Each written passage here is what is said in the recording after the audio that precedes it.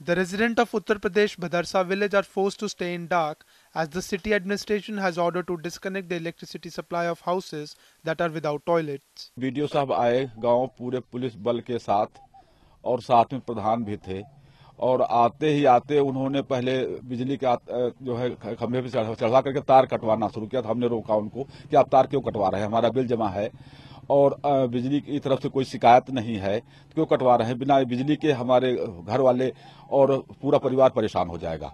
तो उन्होंने कहा, शौचालय तुम्हारा नहीं बना है। तो हमने उनसे कहा, साहब, थोड़ा वक्त दे दो, शौचालय हम बनवा देंगे। और या इसके पहले हमको कुछ बताते, और कुछ बताया भी नहीं। ज़बरदस्ती पुलिस बल के साथ उन्होंने कनेक्शन मेरा कटवा दिया। उन्होंने निवेदन किया, हाथ जोड़ा, लेकिन न मानते हुए उन्होंने हमारा कनेक्शन काट दिया। उसके बाद गाँव के करीब करीब पैंतीस छत्तीस कनेक्शन उन्होंने काट दिए। Defending his decision, Block Development Officer Ajay Pratap Singh asked why people weren't cooperating with the government when they have means to make not one but two, three toilets. मेरी तरफ़ से कार्रवाई केवल ये की गई कि जो लोग बनाने में सक्षम हैं जिनके द्वारा अवैध रूप से अपने इंडिया मार्ग का हैंडपम्प में समरसेबल लगा रखा है और 20 लाख से लेकर के 50 लाख रुपए तक के मकान बना रखे हैं उनके द्वारा भी इस स्वच्छता अभियान में अपनी सक्रिय सहभागिता नहीं दे रहे हैं।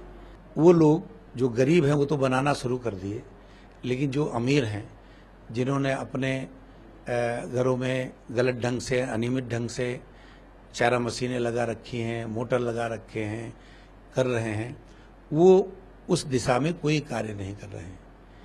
ये उनके परिवार के साथ नहीं, बल्कि पूरे गाँव के लिए कलंक का विषय बना हुआ है कि वो हमारी भारतीय संस्कृति को क्यों अपमानित कर रहे हैं? क्यों भारत सरकार के साथ सहयोग नहीं कर रहे हैं? जबकि मतलब उनके घर में एक नहीं दो दो तीन तीन शौचालय बाकायदे बनाने की उनकी क्षमता है।